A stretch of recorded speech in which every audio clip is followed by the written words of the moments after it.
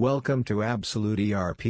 In previous video, we have shown you how to see your created sales order without price. In today's video, we will cover how to create pro forma invoices. Basically, pro forma invoice is used to take advance amount.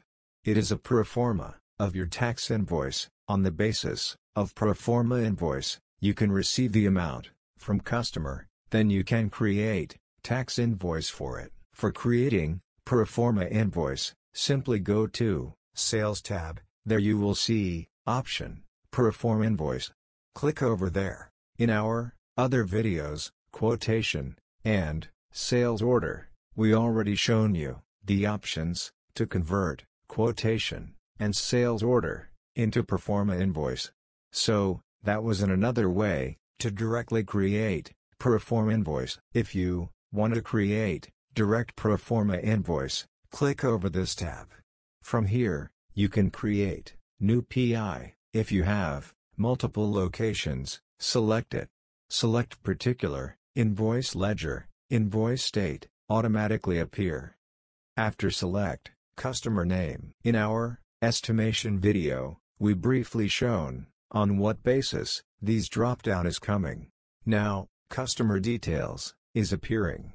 After that, unique, pro forma invoice number, automatically generated, by system, according to your, defined series and backend. From here, you have an option, to put your, order number, against of this PI. From here, you can set, due date, of this pro forma invoice, and you can mention, date of supply, of your services, which you will provide, to this customer.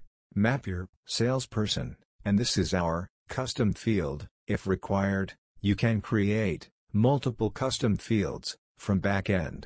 From this option, you can allow discounts over particular items, and you can allow discounts overall. Pro forma invoice, you can add gross weight and net weight through this option. Choose the categories and items for which you are making this PI. Put quantity according to your Defined MRP, of this items.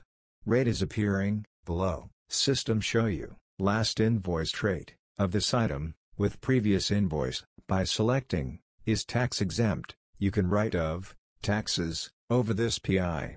If you want to, add multiple items, in single pro forma invoice, select, add another line, and add multiple items, your all calculation, has been done, if required, you can add, other charges, and freight charges. Over here, these tabs is, additional, created through backend. If required, you can attach, any file here, mention, terms, and, condition, notes, mention bank details, and, by selecting, customer email ID, save this, pro forma invoice. Once you save it, automatically, a PDF, of this pro forma invoice, has been shooted, to my customer, email ID.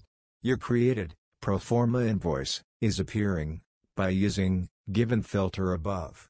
You can classify, your exact data, click over it. This is your, created PI. From here, you can edit it, download it, into PDF, print on letterhead, share it, over WhatsApp, to this customer, you have an option, to convert it, into invoice, on single click, all the things, has been fetch, through PI, into invoice, just click, save, and your invoice is ready. In More tab, you get an option, to print, packing slip.